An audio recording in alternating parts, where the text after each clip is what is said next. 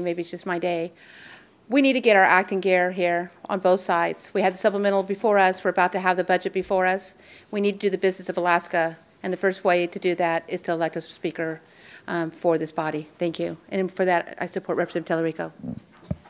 From District 6, Representative Talerico. Uh, It is day 25. This is the longest that our state has ever gone without the election of a speaker, and I believe that Representative Talerico is the best man for the job at this time. Thank you. Change his or her votes.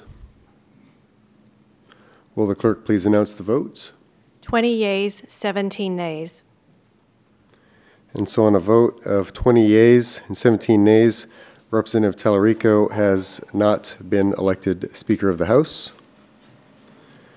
So with that, brief it is.